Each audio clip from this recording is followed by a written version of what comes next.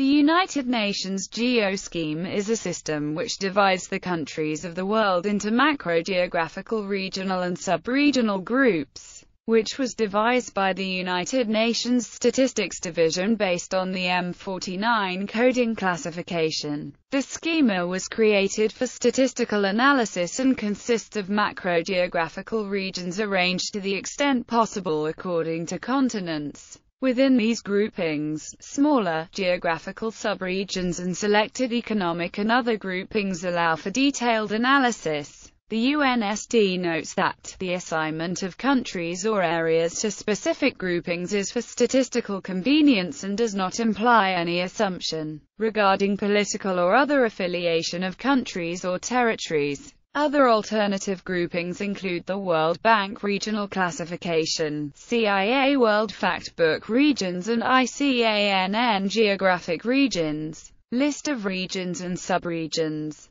Africa, see also. UN Geoscheme for Africa Eastern Africa Middle Africa Northern Africa Southern Africa Western Africa Americas, see also. UN Geoscheme for the Americas Latin America and the Caribbean South America Caribbean asterisk Central America asterisk Northern America asterisk Asterisk These three subregions together form the continent of North America. Asia asterisk asterisk See also UN Geoscheme for Asia Central Asia Eastern Asia Southern Asia Southeastern Asia Western Asia Europe asterisk asterisk See also UN Geoscheme for Europe Eastern Europe. UN includes North Asia in this subregion Northern Europe Southern Europe Western Europe. Asterisk asterisk. These two regional continents form the geographic continent of Eurasia which is not part of the UN Geoscheme. Oceania. See also.